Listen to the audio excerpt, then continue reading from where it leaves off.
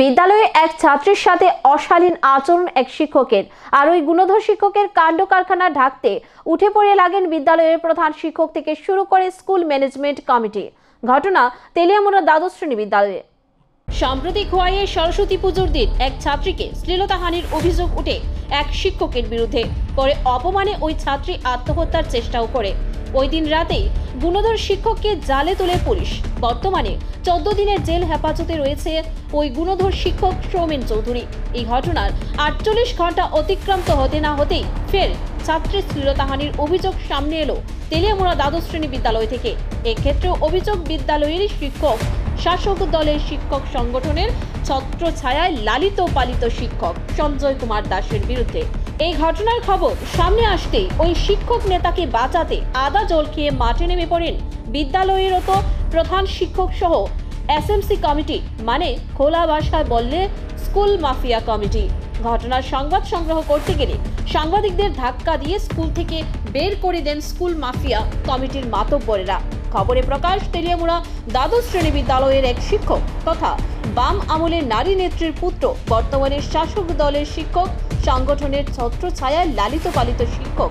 সঞ্জয় কুমার দাসের বিরুদ্ধে এক ছাত্রীর সাথে শ্লীলতাহানির অভিযোগ করে ছাত্রীদের মধ্যে খুব দেখা দেয় সোমবার।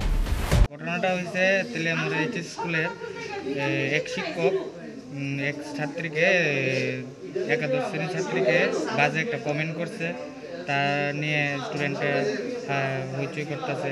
এই এতটুকু শুনলাম এখন পর্যন্ত। কোন শিক্ষক? শিক্ষকের নাম হচ্ছে সঞ্জয় কুমার। কি জানি টাইটেলটা ঠিক করতে পারিনি সঞ্জয় কুমার দাস। ঘটনার খবর পেয়ে কয়েকজন সাংবাদিক বিদ্যালয়ে ছুটে যায়। ঘটনার বিষয়ে জানতে বিদ্যালয়ের প্রধান শিক্ষকের কক্ষে প্রবেশ করতে স্কুল মাফিয়া কমিটির চেয়ারম্যান অরুণ কুমার দাস তেলে বেগুনে জলে ওঠেন। সাংবাদিকদের সাথে চরম দুর্ব্যবহার করে এবং তেরে আসে সাংবাদিককে মারতে উদ্ধত হয়। অপরদিকে প্রধান শিক্ষক প্রণয় দেববর্মা কোনো কিছু না বলে নিজ মোবাইলে সাংবাদিকদের ছবি তুলতে ব্যস্ত হয়ে পড়েন প্রধান শিক্ষক প্রণয় দেববর্মা উল্টো সাংবাদিকদের প্রশ্ন করেন বিদ্যালয়ে ঢুকে ছবি তোলার পারমিশন কে দিয়েছে? তোমাদের ফটো তোলাতে তুলতে কে বলেছে? You take the photograph? Media তো পারমিশন ছাড়া ভিতরে আসে ঠিক আছে। স্যার স্যার, আমাদেরকে বের করে দিচ্ছেন কেন? স্যার এবার প্রশ্ন, যদি বিদ্যালয়ে কোনো ঘটনা নাই ঘটে থাকে, তবে কেন সাংবাদিকদের সাথে এই রূপ আচরণ? তাহলে কি ঘটনা ধামাচাপা দিতে চেষ্টা করছে কর্তৃপক্ষ? নাকি এই গুণধর শিক্ষক সঞ্জয় কুমার দাস বর্তমানে শাসক দলের শিক্ষক সংগঠনের ছত্র ছায়ায় লালিত পালিত হওয়ার কারণে তাকে বাঁচাতে উদ্ধত হয়েছে? এলাকার একাংশ বিদ্যালয় পরিচালনা কমিটির মুখোশ পরা মাতব্বরেরা। তবে সূত্রের খবর, ওই অভিযুক্ত শিক্ষকের সাথে মোটা অঙ্কের হিসেব কিতাব চালিয়ে যাচ্ছে স্কুল মাফিয়া কমিটির শাসক দলীয় মাতব্বরেরা।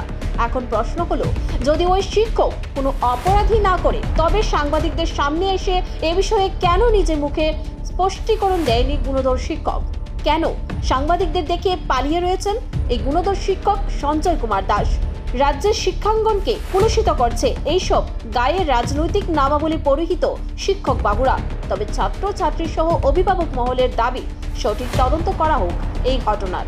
আর যদি তা না করা হয়, তাহলে আগামী দিনে খোয়াইয়ের ছাত্রের মতো যদি কোনো অঘটন ঘটে, তাহলে তার দায়ভার যাবে অভিযুক্ত শিক্ষক সহ বিদ্যালয়ের প্রধান শিক্ষক ও স্কুল মাফিয়া কমিটির মাতব্বরদের ঘাড়ে।